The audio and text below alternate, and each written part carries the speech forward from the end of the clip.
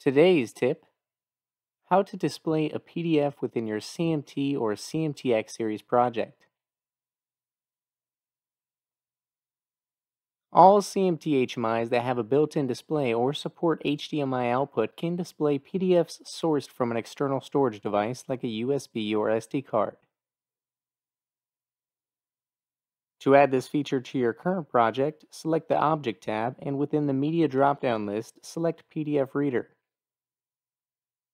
Configure the file position and provide a file path address. This address will hold the location of the file within the external device.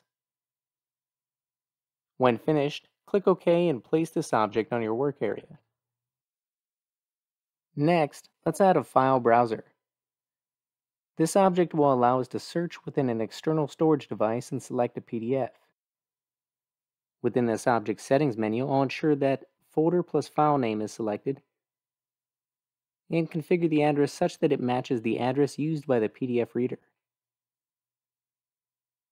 With that finished, I'll click OK, place this object, and then download this to my device for testing.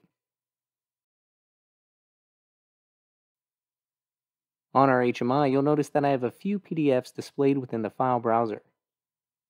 And if I select one, the contents of this PDF are displayed within the PDF reader. One thing I'd like to mention is that the PDF reader cannot be used when performing an offline or online simulation.